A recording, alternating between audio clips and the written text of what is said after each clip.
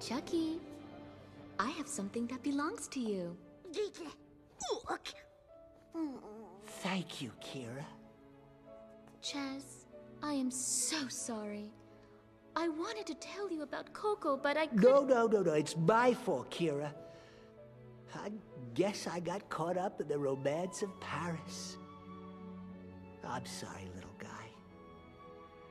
Oh, how my heart beats wild. Time I hold my precious child. Wait, you know that poem? Oh, it is my favorite.